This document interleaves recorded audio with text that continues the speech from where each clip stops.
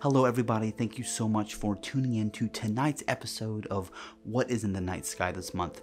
Tonight, I'm going to be taking you through a beautiful tour of the night sky in the month of March, and we have some incredible objects to visit. So, as always, let's buckle in and see what's really out there.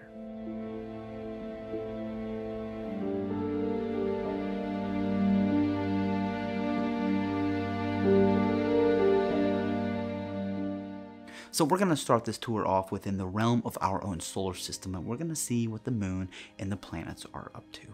Whereas both Saturn and Neptune are too close to the sun to be visible, Mercury is furthest from the sun on March 7th and it can be easily seen in the west about 15 minutes after sunset for roughly the first half of the month. Both a thin crescent moon and Venus appear above it on March 1st. Venus itself is losing ground against the Sun and is rapidly dropping into the evening twilight. It'll appear within the same 10 by 50 binocular field of view as Mercury from the 9th, with the two closest together on the 12th. March is the last month to observe Uranus telescopically, but Jupiter fares better. It lies close to Aldebaran in Taurus and remains observable for several hours after twilight ends. It's joined by the first quarter moon on the 5th and 6th. Mars is still shining brilliantly in the constellation Gemini, close to the stars Castor and Pollux. You'll find a waxing gibbous moon just a degree and a half away on March 8th. Use 10 by 50 binoculars to see the moon, Mars, and Pollux within the same field of view.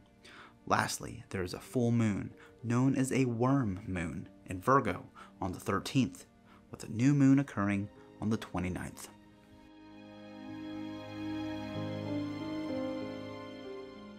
Now, speaking of the moon, this month we will be able to witness a total lunar eclipse.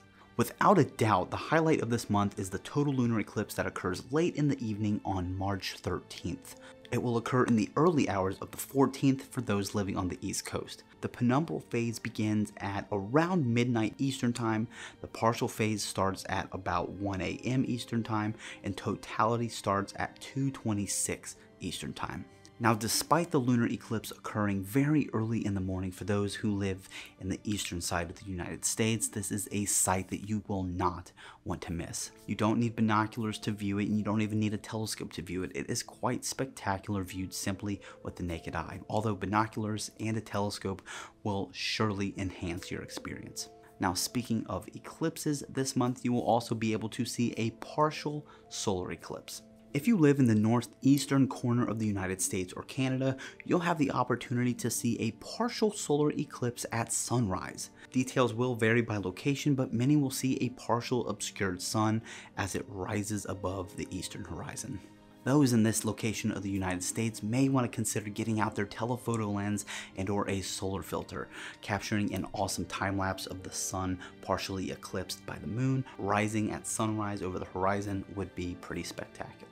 So those are the events that will be occurring within our own solar system this month. But next, we're going to head out way past our solar system and past our own galaxy, and we're going to be visiting two galaxies that are highly popular within the amateur astronomy community for both visual and astrophotographers. That's M81 and M82, the Cigar Galaxy and Bode's Galaxy.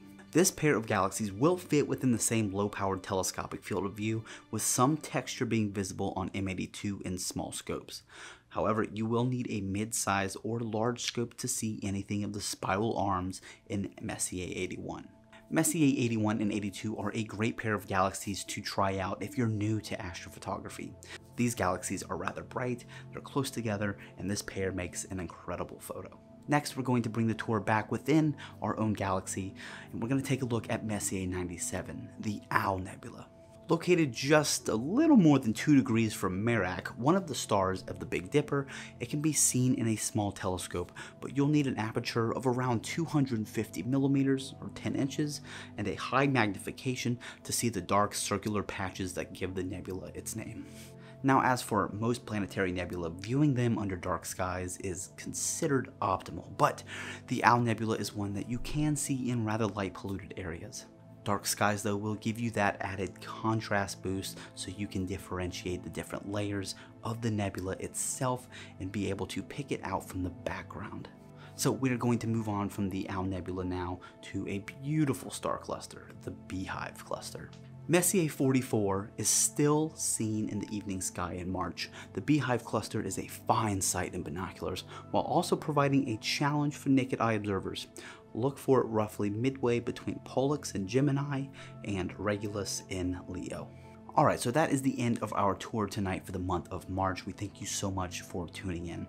If you've ever had the chance to view any of these objects in a telescope or even photograph them, let us know in the comments where you were, what kind of gear you used. We always love to hear from you. Be sure to like and subscribe so you don't miss any future High Point content. Thank you so much again for tuning in, and clear skies.